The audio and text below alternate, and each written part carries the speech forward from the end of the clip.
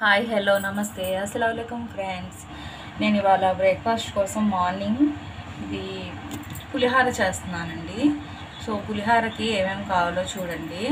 కొంచెం గుళ్ళు జీడిపప్పు పచ్చిమిర్చి కరివేపాకు ఎండుమిర్చి లెమను తాలింపు గింజలు ఇవన్నీ రెడీ చేసుకున్నాను అండ్ నెక్స్ట్ రైస్.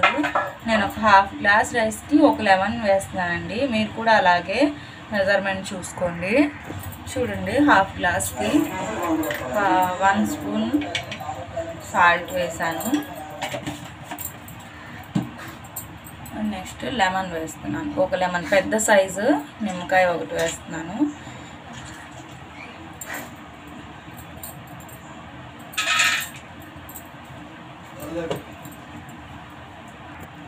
ఈ లెమన్ను సాల్ట్ ఒకసారి ఇప్పుడు కలిపెట్టాం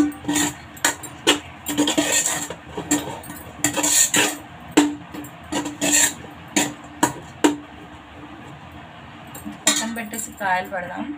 ఇదిగోండి ఆయిల్ హీట్ అయింది. నేను త్రీ స్పూన్స్ ఆయిల్ వేసాను ఫ్రెండ్స్. దాంట్లో తాలింపు గింజలు పచ్చనపప్పు ఆవాలు కొంచెం జీలకర్ర గుళ్ళు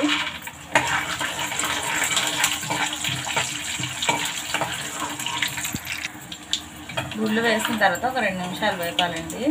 ఇదిగోండి వేగిపోయినాయి చూసారా? ఇలా చిట్పట్ చిట్పట్ అని ఇలాగా పగులుతున్నాయి చూసారా? అంటే ఫ్రై అయిపోయినట్టే.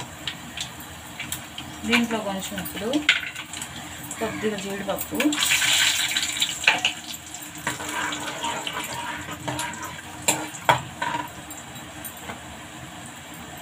పచ్చిమిర్చి కొంచెం ఎండుమిర్చి.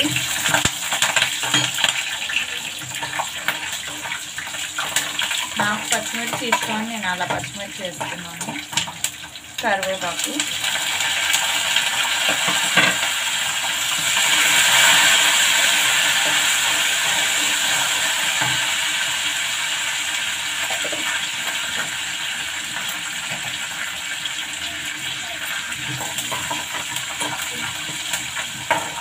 ఇప్పుడు దీంట్లో కొంచెం పసుపు వేస్తున్నాను కరివేపాకు ఫ్రై అయిపోయిన తర్వాత ఎండుమిర్చి మా బాబుకి ఇష్టం ఉంది కానీ నేను ఎక్కువ వేయలేదండి. మీరు వేసుకుంది పులిహారలో అదే కదా టేస్ట్.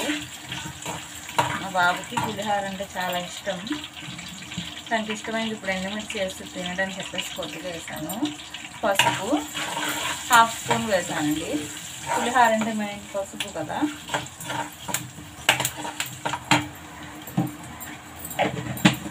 స్టవ్ ఆఫ్ చేసేద్దాం. ఇప్పుడు ఈ తాలింపు తీసేసి రైస్ పెట్టేద్దాం. నేను స్టవ్ ఆఫ్ చేస్తానండి. ఈ రైస్లో ఆల్రెడీ నేను లెమన్ సాల్ట్ చూపించాను కదా కలిపేసాను తాలింపు దీంట్లో వేసేద్దాం. పులిహారకి ఎప్పుడైనా సరే తాలింపు మాడకుండా బాగుంటేనే పులిహార సక్సెస్ అయితే. మీరు నేను ఏ విధంగా వేసానో అదే అలాగే వేసుకోండి. లేదంటే గుళ్ళు ముందు వేసాయి. గుళ్ళు వేసేసి తాలింపు గింజలు వేసి కలిపేద్దాం.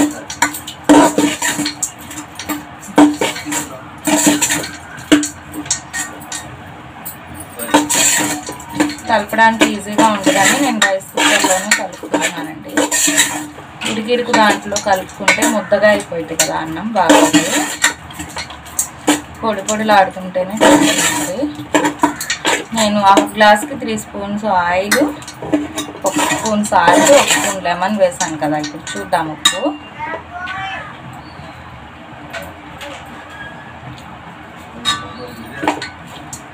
అన్నీ కరెక్ట్గా సరిపోయినాయండి. దీంట్లో అసలు ఇప్పుడు ఏం వేయాల్సిన అవసరం లేదు.